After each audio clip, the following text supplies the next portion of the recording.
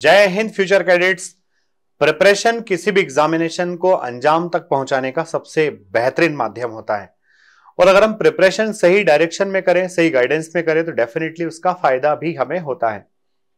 Personal interview की ही अगर हम बात करें तो आप जब पर्सनल इंटरव्यू के लिए बैठे होते हैं तो आपसे आईओ साहब डिफरेंट क्वेश्चंस पूछते हैं। तो उन क्वेश्चंस का एक सीक्वेंस होता है, जिसको कॉम्प्रहेंसिव इंटरव्यू क्वेश्चन आयर कहा जाता है। जिसमें सबसे पहले राउंड में आपके एजुकेशन से रिलेटेड सवाल पूछे जाते हैं। सेकेंड राउंड में आपकी फैमिली से रिलेटेड क्वेश्चंस पूछे जाते हैं। और थर्ड राउंड जो होता है वो आपके हॉबीज और इंटरेस्ट के ऊपर डिपेंड करता है। तो इससे पहले दो वीडियो मैंने और बनाए हैं, जिनमें मैंने ओवरऑल इंफॉर्मेशन दिए कि आपसे, आपकी खुद की एजुकेशन से रिलेटेड क्या क्या क्वेश्चंस पूछे जाएँगे। सेकेंड वीडियो में पूरा एकदम एक्सप्लेन किया हुआ है कि आपकी फैमिली से रिलेटेड क्या बातें उसके अंदर पूछी जाती है? क्या आपको वहाँ पर क्वेश्चन पूछे जाएँगे? What will be the answer क्या हो सकता है? आज के इस वीडियो में हम बात करें सीआईक्यू थ्री की, जो कंप्लीटली डिपेंड रहता है आपके हॉबीज और इंटरेस्ट के ऊपर। वो देखना चाहते हैं कि बंदा पढ़ाई के अलावा और फैमिली के टाइम के अलावा जो और बचा हुआ टाइम उसको किस तरह से स्पेंड करता है। तो आइए पहले मैं आपको पूरा पैराग्राफ पढ़कर बता देता हूँ कि आयो साहब आपसे एकदम पूरा फटाफट स्पीड में क्या पूछेंगे और क्या पूछने के पीछे उनका क्या क्या मकसद होने वाला है। तो देखिए बच्चों, सबसे पहला कि डायरेक्टली जब वो स्टार्ट करेंगे तो ऐसे करेंगे now please tell me how do you spend your spare time आप बताइए कि आप अपना स्पेयर टाइम कैसे स्पेंड करते हैं। What do you like to watch on TV आप टीवी पर क्या देखना पसंद करते हैं? And if you have facilities to access internet अगर आपके घर पे इंटरनेट की सुविधा उपलब्ध है how do you make use of them आप इंटरनेट का कितने अच्छे से इस्तेमाल करते हैं? What are your interest and hobbies आपके इंटरेस्ट और आपके हॉबीज क्या हैं? स्पोर्ट्स एंड गेम्स में आपकी कितनी रुचि है? है ना? Sports and games you have taken part in वो स्पोर्ट्स और गेम्स जिनमें आपने पार्टिसिपेशन किया है।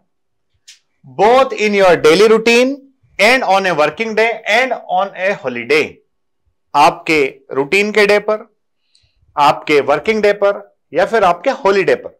आप किस तरह से इन चीज़ों को फॉलो करते हैं? तो मेरे प्यारे बच्चों, अगर आप सी आई सीआईक्यू वन देखा होगा और अगर देखेंगे तो आपको कुछ चीज़ें यहाँ पर कॉमन मिलने वाली है। पहली चीज़ कि स्पोर्ट्स और गेम से रिलेटेड बात वो आपसे पूछ चुके हैं सी आई सीआईक्यू वन के अंदर। सी आई क्यू वन में जब उन्होंने आपसे आपके एजुकेशनल बैकग्राउंड के बारे में पूछा टेन ट्वेल्थ के परसेंटेज पूछे, वहाँ पर वो आपसे आपके गेम्स स्पोर्ट्स के बारे में पूछ चुके हैं।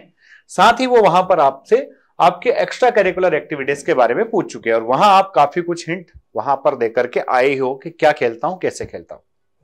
अब यहाँ पर एक क्रॉस चेक कर रहे हैं आपसे। कि आपने वहाँ बोला था, उसको आप फुलफिल करने के लिए प्रयास क्या करते हो? क्योंकि आपने वहाँ एजुकेशन के टाइम पर बोल दिया, साहब मैंने टेंथ में जो है हॉकी में पार्टिसिपेट किया था और हमारी टीम स्टेट लेवल पर जो है अपने स्कूल को रिप्रेजेंट किया था।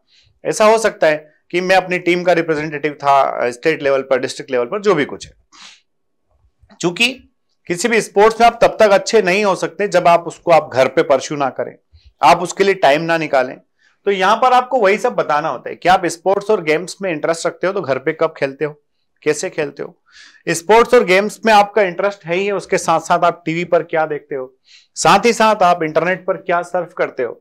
तो एक ये जो पैराग्राफ जो आपसे पूछा गया है आपको एकदम बेसिक से एकदम वापस से आपको इंट्रोस्पेक्ट करके इस पे जवाब तैयार करना है कि भाई जो पूछा जा रहा है वो मेरी पर्सनालिटी से रिलेटेड है या फिर नहीं है।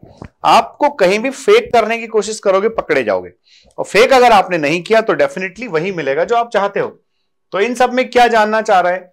वो जानना चाह रहा है कि how do you spend your spare time आपका स्पेयर टाइम कैसे आप इस्तेमाल करते हो? ऐसा तो नहीं है बस लेटे ही रहते हो। है ना बस? कुछ किया नहीं जा रहा है। सेकेंड है बच्चा prominent interest hobbies and level of proficiency आपका वास्तविक इंटरेस्ट क्या है? आपकी वास्तविक हॉबीज क्या है? और उसका उसमें आप चूँकि अगर हॉबी को बहुत लंबे टाइम से आप फॉलो कर रहे होंगे तो डेफिनेटली उसमें आपको प्रोफिशियंसी होगा। तो what is the level of proficiency preference for team games और individual games and level of proficiency आप किस तरह के गेम्स खेलना पसंद करते हो? आप टीम गेम खेलते हो इंडिविजुअल गेम खेलते हो? उन गेम्स के अंदर आपकी क्या प्रोफिशियंसी है? Routine on a both normal days and holidays आप जो है, आपके नॉर्मल दिन में, आपके और हॉलीडेज में किस तरह से अपना टाइम प्लान करते हो? अपना डे कैसे प्लान करते हो? आपकी रीडिंग हैबिट्स क्या हैं? क्या आपको फ्री टाइम मिलता है तो आप न्यूज़पेपर पढ़ते हो? क्या आपको न्यूज़पेपर पढ़ते हो तो उससे फिर आपको सारी जियो पॉलिटिक्स एंड ऑल सारी इंफॉर्मेशन पता चल जाती है।